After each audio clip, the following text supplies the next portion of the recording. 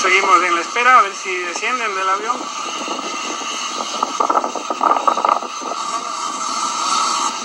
Hasta aquí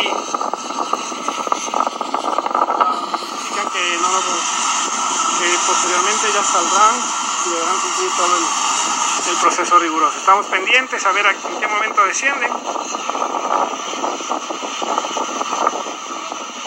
Ellas serán trasladadas a un hotel donde están sus familias y sus entrenadores. Funcionarios del Ministerio del Deporte también están en espera para darles la bienvenida